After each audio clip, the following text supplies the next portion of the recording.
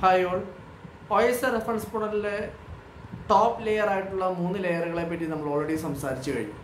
അടുത്ത് നമുക്ക് പഠിക്കാനുള്ള മിഡിൽ ലെയറാണ് മിഡിൽ ലെയറിന്റെ പേര് നമ്മൾ വിളിക്കുന്ന പേരാണ് ട്രാൻസ്പോർട്ട് ലെയർ എന്നാണ് പറയുക. ഒ റെഫറൻസ് മോഡലിൽ നേരത്തെ ഉള്ള വീഡിയോയ്ക്ക് നമ്മൾ കണ്ടു.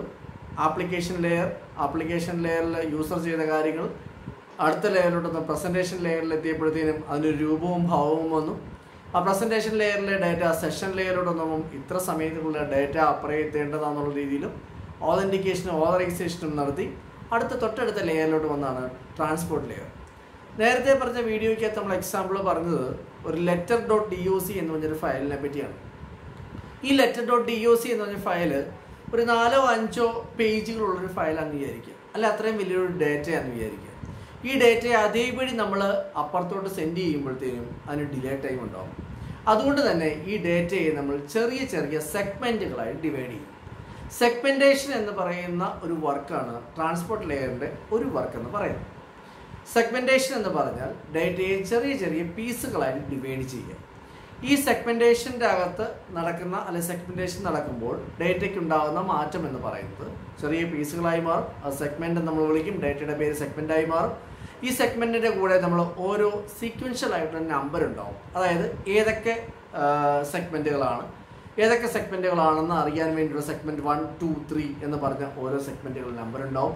ഓരോ പോർട്ട് നമ്പേഴ്സ് അതിന്റെ അകത്തേക്ക് ആഡ് ചെയ്യപ്പെടും. ഏത് പോർട്ടിൽ നിന്ന് വരുന്ന സെഗ്മെന്റിലാണ് അങ്ങനത്തെ കാര്യങ്ങളെല്ലാം ഇതിന്റെ അകത്തേക്ക് ആഡ് ചെയ്യപ്പെടും. ഇതാണ് സെഗ്മെന്റേഷൻ എന്ന് പറഞ്ഞ കാര്യം. അടുത്ത കാര്യം അടുത്ത ട്രാൻസ്പോർട്ട് ലെയറിന്റെ അടുത്തൊരു വർക്കാണ് എറർ കറക്ഷൻ എന്ന് പറഞ്ഞ കാര്യം. അത് നമുക്ക് കുറച്ച് നേരം കഴിഞ്ഞിട്ട് നമുക്ക് അടുത്ത വീഡിയോയിലൂടെ കഴിയുമ്പോഴത്തേക്കും നമുക്ക് ആ എറർ കറക്ഷനെ പറ്റി നമുക്ക് കുറച്ചുകൂടെ ക്ലിയർ ആയിട്ട് നമുക്ക് മനസ്സിലാക്കാൻ സാധിക്കും. ട്രാൻസ്പോർട്ട് ലെയറിന്റെ അകത്ത് വർക്ക് ചെയ്യുന്ന അടുത്ത രണ്ട് ടൈപ്പ് പ്രോട്ടോകോൾസും ഉണ്ട്. അല്ലെങ്കിൽ രണ്ട് രീതിയിലുള്ള വർക്കാണ് ട്രാൻസ്പോർട്ട് ലെയറിന്റെ അകത്ത് വർക്ക് നടക്കുന്നത്. കണക്ഷൻ ഓറിയന്റഡ് പ്രോട്ടോകോൾസുകളും കണക്ഷൻ ലെസ് പ്രോട്ടോകോൾസ് എന്നും പറയും.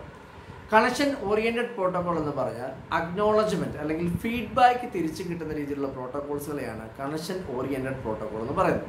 അതിന് ഏറ്റവും നല്ലൊരു എക്സാമ്പിളാണ് T C P transmission control protocol എന്ന് പറയുന്ന പ്രോട്ടോകോൾ അതേപോലെ തന്നെ കണക്ഷൻ ലെസ് പ്രോട്ടോകോൾ ഫീഡ്ബാക്ക് കിട്ടാത്ത പ്രോട്ടോകോൾ അല്ലെങ്കിൽ നമ്മൾ ഡേറ്റ അയച്ചു കൊടുത്തിട്ടുണ്ടെങ്കിൽ സെൻഡ് ചെയ്തു.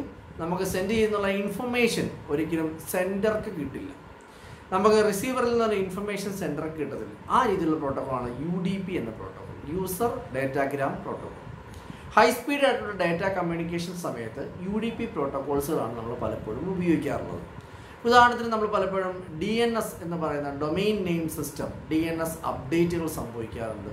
അതേപോലെ തന്നെ വീഡിയോ സ്ട്രീമിംഗ് ഇങ്ങനെ പല കാര്യങ്ങൾക്ക് വേണ്ടിയും ഡേറ്റ സ്പീഡായിട്ട് എത്തേണ്ട അവസ്ഥ വരുമ്പോഴത്തേനും അവിടെയൊക്കെ നമ്മൾ യൂസ് ചെയ്യുന്നത് ഈ യു ഡി പി എന്ന പ്രോട്ടോക്കോളാണ് മോസ്റ്റ് പ്രോബബ്ലി നമുക്ക് അക്നോളജ്മെന്റ് തിരിച്ചു വരണം. ഡേറ്റയുടെ സെക്യൂരിറ്റിക്ക് അത് വളരെയേറെ അത്യാവശ്യമാണ്.